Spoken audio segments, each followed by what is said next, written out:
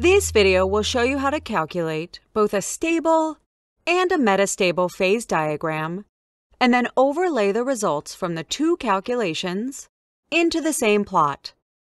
This type of calculation is done because many materials are not thermodynamically stable. Therefore, a stable phase diagram will not accurately represent the material we see in reality.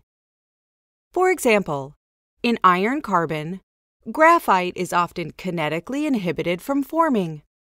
Therefore, cementite, which is kinetically favored, forms instead. But cementite is metastable. Calculating the iron-carbon phase diagram while excluding graphite will thus give us a diagram that more closely resembles reality. The calculation can be run by anyone with a license for ThermoCalc, including the free educational package. The calculation is based on example T5 of the examples included in your software. However, this video will show you how to build the calculation so that you can customize it. If you want to run the example as it is, go to the Help menu, Examples Files, ThermoCalc, and double-click on example T5. To begin the calculation, open ThermoCalc in the graphical mode and click on the Phase Diagram template. All the nodes we need to run the first calculation will appear in the project pane we will calculate the stable phase diagram first. From the Database drop-down menu, select the FE Demo database, then select the elements iron and carbon. Next, select the Equilibrium Calculator node. We will use the default values, so make sure your settings match mine. Then select the Plot Renderer node. Under the x-axis, change mass percent to mole fraction, then uncheck the automatic scaling box. Change the upper limit to 0.25 and the step to 0.025. Under the y-axis, change the temperature to Celsius, then uncheck the automatic scaling box. Change the upper limit to 1800. Make sure all your configurations match mine. Then select Perform at the bottom center of the program. Once the calculation is complete, a plot will appear in the Visualizations window. If you hover your mouse over the plot, you see the phases present at that point. When you move your mouse to the rightmost side of the graph, you see the graphite phase, which is the stable phase in this calculation. In order to calculate a metastable phase diagram, all we have to do is remove the stable phase, which is graphite in this case. When we do this, the metastable phase becomes stable. Our second calculation will be almost identical to the first, so we can simply clone the first tree. Right-click on the system definer then select Clone Tree. We get a second set of nodes that is identical to the first.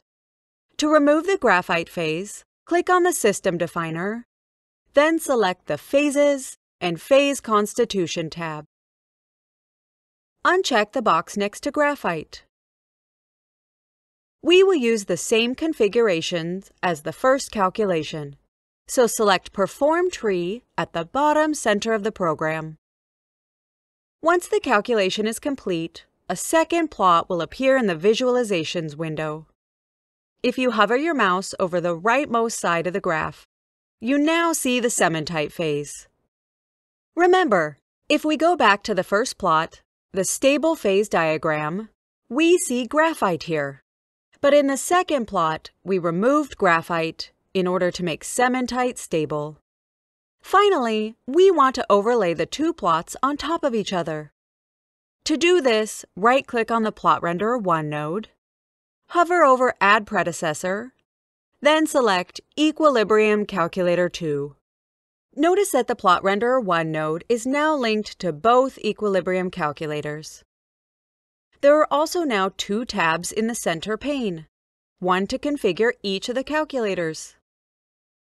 click on the Equilibrium Calculator 2 tab. When we linked the second calculator, the plot did not automatically format, so we have to set the axes again.